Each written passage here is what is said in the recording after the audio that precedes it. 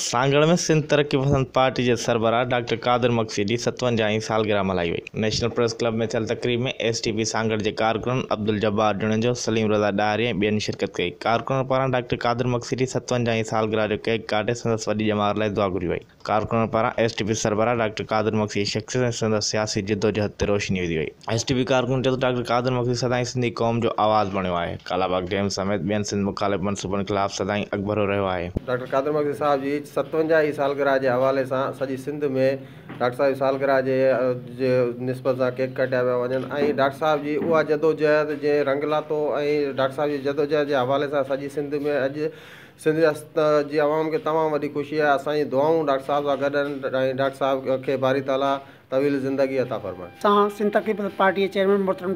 मक्सी साहिब जी सतवंजाह ई साल ग्रह मल्हाए रहिया आहियूं सिंध जे जॾहिं बि ॾुखियो वक़्तु आयो आहे त डॉक्टर कादर मक्सीअ उन साथीनि पंहिंजो पाण मल्हायो आहे ॾिसो अॼोको ॾिहाड़ो जीअं फजर थिए थी सुबुह थिए थो त उन जन जनम थिए थो जेको सिंध जे हक़नि लाइ विड़े थो डॉक्टर कादर मक्सी सम्झो सतवंजाहु साल पहिरियां जन जनम थिए थो घर में ग़रीबाणी घर में त उन उहो उन वचन करे थो त उन पीउ खे ख़बर कोन्हे त इहो अॻिते डॉक्टर कादर मक्सी ॾाढो लीडर थींदो ऐं सॼी सिंध हुनजे पोयां लाइ हूंदी इशफाक सलेरी उमकान टीवी सांगड़